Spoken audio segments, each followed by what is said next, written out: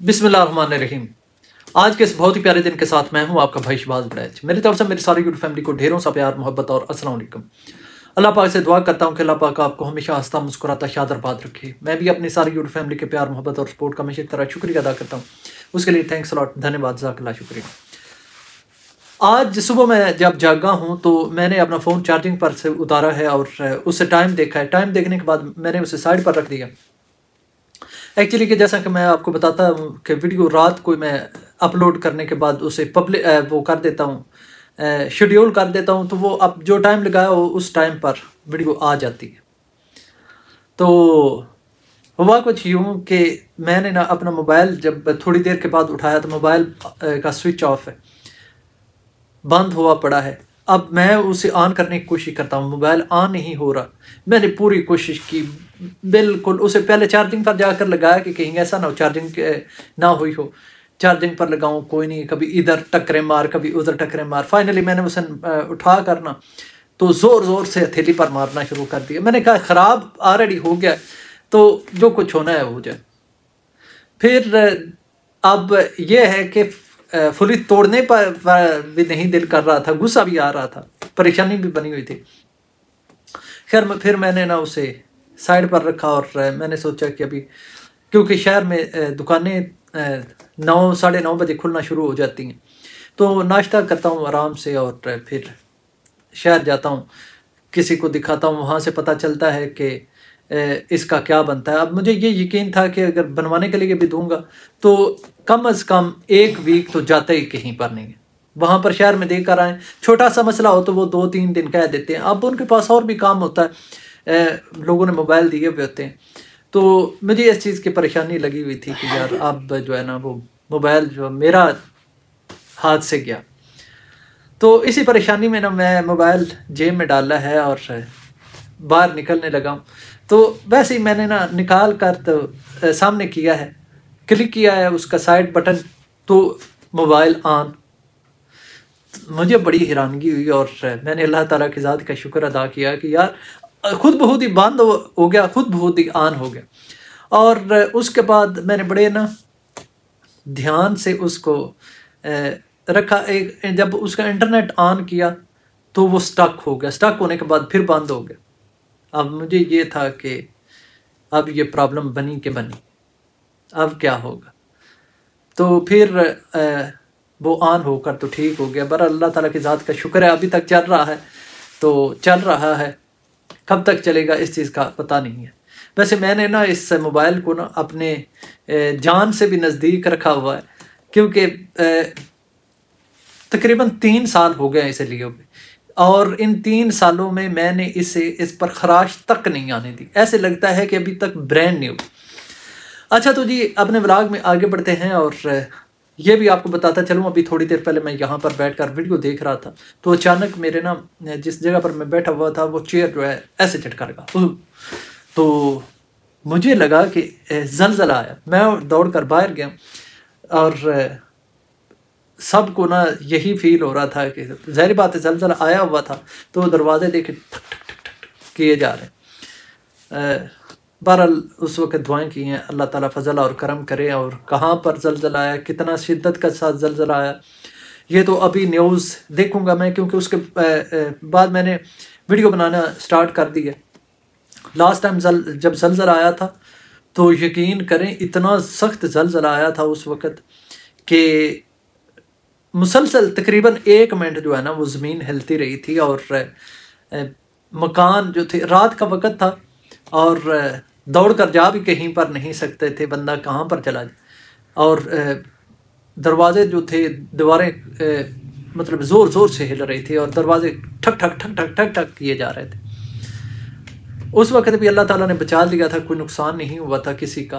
तो अभी भी इतनी शिद्दत ज़्यादा नहीं थी, फिर भी अल्लाह ताला से दुआ है कि अल्लाह करम और फजल के मामला करें। अच्छा तो जी, आगे बढ़ते हैं, बाबर के ब्लाग पर सबसे पहले बात करते हैं। बाबर का ब्लाग देखा है और जिसमें उन्होंने टाइटल लगाया हुआ था कि, मैं यहाँ पर उम्र करने के लिए आया हूँ वीज़े पर काम करने के लिए आया हूँ तो किस लिए आया? हूँ उनका कहना था कि एक्चुअली मैं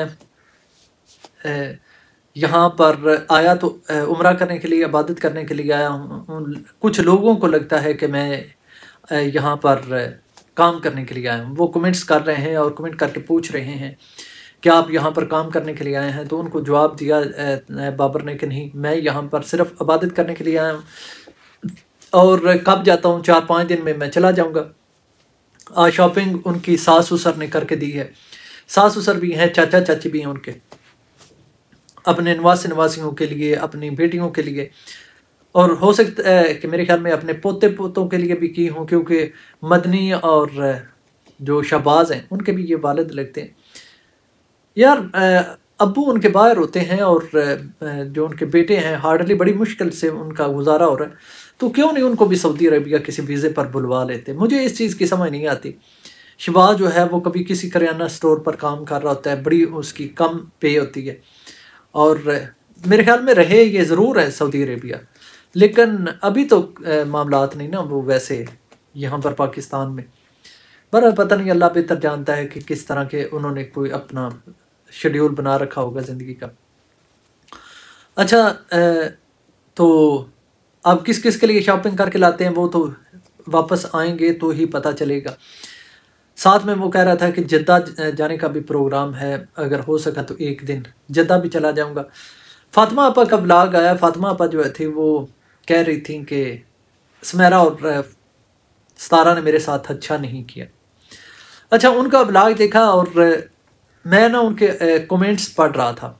तो एक ना बहन ने कमेंट किया हुआ था और उनका कहना था कि, फातिमा, अब कंट्रोवर्शियल टॉप जो है ना टाइटल थंबनेल तुम्हारा कुछ फ़ायदा नहीं कर सकेंगे, तुमने अपने आप को एक्सपोज कर लिया हुआ है। और एक बहन ने कहा हुआ था, वो सतारा की बहुत बड़ी फ़ैन है। वैसे पिक्चर तो एक आंटी की लगी हुई होती है, उनकी आईडी पर शायद वो आंटी हूँ या सिस्टर हूँ। जो भी हैं अल्लाह पाक उनको सेहत वाली ज़िंदगी अता फरमाए। वो बहुत कमेंट करती हैं इस तारा को। अच्छा फातिमा की वीडियो के नीचे भी उन्होंने कमेंट किया हुआ था और उन्होंने कहा था कि फातिमा, आपके व्यूज़ बहुत ज़्यादा कम हो गए हैं सब्सक्राइबर भी कम हो रहे हैं। तो आप अपनी रूटीन थोड़ी सी चेंज करें, अपनी तरफ़ ध्यान दें। ये सारा कुछ डीडी की वजह से हो रहा है। डीडी के साथ आप मामला ठीक कर रही हैं तो लोग आपको देखना छोड़ रहे हैं। एक्चुअली उनका कहने का मतलब ये नहीं था कि अगर डीडी तुम्हारे साथ ठीक हो तो लोग जो है वो वीडियो नहीं देखेंगे। एक बहन ने और उसका रिप्लाई दिया हुआ था और वो कह रही थी कि हाँ बिल्कुल ये लोगों को जो है वो कभी कोई स्टोरी सुना रही होती है, कभी कोई स्टोरी सुना रही होती है, जिसकी वजह से लोग जो हैं वो देखना छोड़ रहे हैं इनको। एक्चुअली बात तो यही है कि जब उनके साथ डीडी के मामला ख़राब हुआ करते थे। उस वक्त फातिमा अपा का बहुत ज़्यादा लोगों ने साथ दिया। यकीन करें कि खुद बहनें जा जाकर उनकी वीडियो प्रमोट किया करती थी, कहती थी कि इनकी वीडियो देखा करें फादिया और दुआ के लिए वो खसूस स्पोर्ट कहती थी कि उनकी स्पोर्ट हमने करनी है, वो उसकी छोटी छोटी बच्चियाँ। उस उस वक्त फातिमा के साथ बहुत ज़्यादा ये लोग जुड़े हुए थे और वो क्या कहते हैं कि हमदर्दी की वजह से, लोगों को हमदर्दी थी कि उसके छोटे छोटे बच्चे। लेकिन जैसे ही डीडी और फातिमा के मामला लोगों के सामने आना शुरू हो गए और ख़ास तौर पर अभी जिस तरह की बातें सामने आई थी कि फातिमा जो है डीडी को उम्र पर भेज रही है और सुलह भी उसने करवाई है मिनते समाजित करके अपने अबू की। और पब्लिक से आकर और बात की है। आगे तो इस तरह जो है ना लोग लोगों के दिनों में जिनों में शक पड़ना शुरू हो जाता है कि कहीं यार चलो हम इनको तो स्पेशल देखते थे, अभी जो बहनें देखती थी, वो इनके लिए सपोर्ट करने के लिए देखती थी कि इनकी सपोर्ट होगी, इनके बच्चों के मामला ठीक चलेंगे। तो जब लोगों को लगता है कि नहीं, यार ये हमसे सारा कुछ अपनी मर्ज़ी से जो दिखाना हो, दिखाया जाता है। एक किस्म का लोग कहते हैं कि हमें धोखा दिया जाता है। तो फिर लोग जो है, पीछे हटना शुरू हो जाते हैं। बहरहाल, अभी डी डी आएगा और पता चलेगा कि उनके मामला कैसे चलते हैं। अगेन डी के आने के बाद। फिर वहीं, वैसा तो नहीं होगा जब डी यहाँ हुआ करता था। सनिया ने फिर भी आ जाना है। सनिया आएगी तो देखेंगे कि मामला किस तरह के हैं। अच्छा तो जी, एक और मैंने वीडियो देखी है, जिस पर एक टाइटल लगा हुआ था कि सतारा का ये लास्ट आर्टिकल है, इसके बाद सतारा अपना बिज़नेस बंद कर रही है।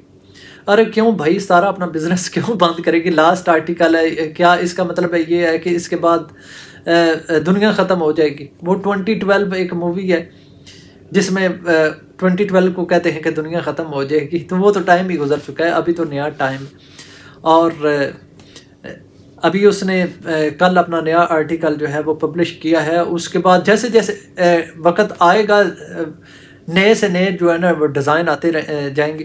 पहले तो उस्तारा ने जो तीन चार आर्टिकल एक साथ ही पब्लिश किए थे, उसकी वजह ये थी कि उस वक्त उन्होंने एक टाइम दिया हुआ था अपने जो वर्कर्स थे कि ये ये आर्टिकल हमने पब्लिश करने हैं और अभी जैसे जैसे, अभी उनका काम नया है और वो सीखते जाएँगे इस चीज़ से, जो उनको बेहतर लगेगा, उसी हिसाब से वो चलते जाएँगे। लेकिन लोगों की तो जो जिस तरह की उनकी सोच है और जिस तरह के उनके चाचीदारों की तरह वो लोग करते हैं तो उन्होंने तो बस यही दुआएँ करनी है कि अगर कल बंद होना है तो आज बंद हो। अच्छा वैसे अभी ये लोग जो है ना वो कहते हैं कौसर की वजह सतारा के व्यूज़ आ रहे हैं कौसर की वजह सतारा के व्यूज़ आते हैं। साजिद भाई के भी कौसर की वजह से आते हैं बड़े बड़े पोस्टर लगा रखे होते हैं कम्युनिटीज़ शेयर की जाती हैं। लेकिन अभी ए, क्यों नहीं व्यूज़ आ रहे? ना साजिद के आ रहे हैं ना सतारा के। अभी आकर कहेंगे कि नहीं लोगों को इनकी हकीकत का पता चल गया है तो लोग नहीं देखने के लिए आते। तो अगर व्यूज़ ज़्यादा हो जाएँगे ये जो जिस तरह सबके व्यूज़ कम हुए पड़े हैं तो फिर अगेन उनके व्यूज़ बढ़ जाएँगे तो फिर ये कहेंगे कि देखा, हम ना कहते, देखा सर आएगी तो इनके व्यूज़ आएँगे। तो इनके दो ज़बान लोग हैं, इनकी एक ज़बान है नहीं है। बाकी अल्लाह पाक करम और फजल करने वाला है। तो दुआ करें, मेरे लिए, मैं आपके लिए दुआ करूँगा। मिलेंगे नेक्स्ट वीडियो में। अल्लाह हाफिज़ और